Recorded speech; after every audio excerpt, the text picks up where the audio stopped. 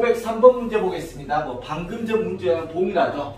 어느 도시의 미세먼지 농도가 매년 5%씩 증가한대. 현재의 두배 이상이 되는 건 최소 몇 년 후인지 물어봤죠. 그러면 처음 농도를 우리 A로 잡아보고 친구들 A로 잡아보면 오케이 1년이 지나면 원래 양의 그렇지 0.05 증가하니까 플러스죠. 이만큼 증가한다는 거예요. 오케이 1년이 지나면 또 그 다음에 또 1년이 지나면 오케이? 이놈의 양에 그렇지? 이놈의 양에 또 1 플러스 0.05만큼 증가한다는 거지. 그래 안 그래. 그럼 n년 후몇 년 후? n년 후 원래 양의 몇 배? 두배. 두 배 이상이 되는 그 연을 구하라는 거네. 그럼 끝났다.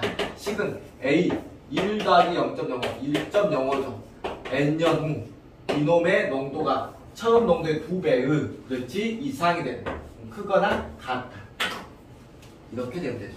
그러면 AA 약분대 좋은 친구들 됐습니까? 근데 문제에서 노구 1.05 값이 주어졌으니까 양변의 밑이 10인 노구차는 n 곱하기 노구 1.05 그렇죠? 노구 2가 되네.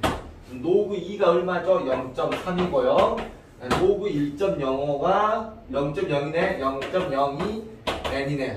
그러면 n은 0.02분의 0.3이 되니까 양변에 100을 곱하면 2분의 100을 곱합니다. 그러면 30이 되지. 그럼 15년 후네. 답은 15년 후가 되겠습니다. 아주 노멀했네요 우리 친구들. 오케이.